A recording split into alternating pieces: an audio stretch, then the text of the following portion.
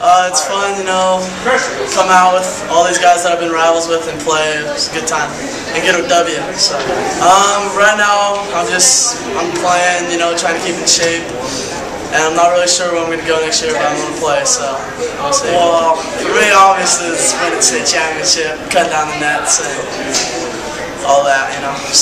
Uh, it's weird.